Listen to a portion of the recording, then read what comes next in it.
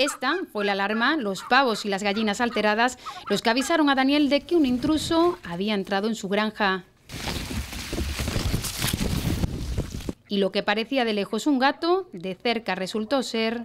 Iba andando por lo alto de la tela, ya me quedé mirando y digo, pues si parece un lince, parece un lince, y, y ya cuando me fijé, pues efectivamente era un lince. Y la gran pregunta, ¿qué hacía un lince como ese en un sitio como este? Estaba intentando meterse dentro, estaba como cazando, intentándose meterse dentro. Y lo que intentaba cazar, a primera vista, es difícil localizarlo. El forraje no deja ver la presa que perseguía este lince, pero el sonido las delata.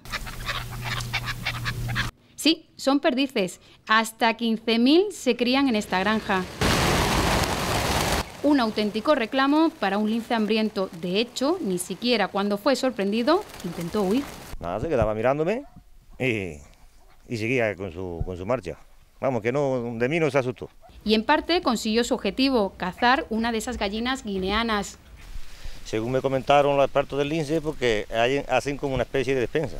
Mientras haya casa, están matando para cuando no haya. Y ahí lo iba guardando, ¿no? Ahí tenía una matada y ahí seguía cazando. Y mientras seguía cazando, ignoraba que Daniel ideaba el modo de atraparlo a él. Poniéndole de la gallina que había matado, pues se le cortó un cacho y se le pone aquí enganchado.